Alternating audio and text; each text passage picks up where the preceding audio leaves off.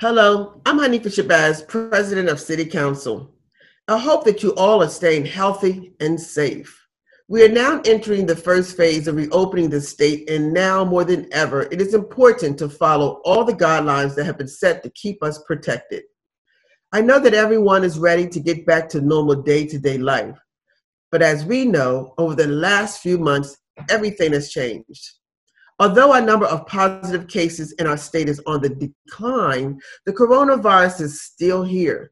So that means we all have a part to play in wearing our face coverings, keeping social distancing in place, and protecting our most vulnerable populations. Our city's COVID 19 working group is continuing to work collaboratively to make sure information and resources are shared as directly and as clearly as possible throughout the city. Over the Memorial Day weekend, we delivered 20,000 masks throughout the city, and our partner in this, the Wilmington Housing Authority, distributed 5,000 masks to their residents.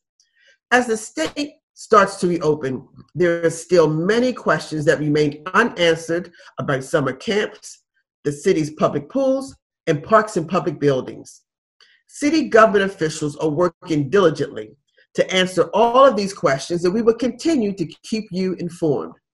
Remember, for all of your news and information related to the City Council and updates about COVID 19, continue tuning in to WITN 22.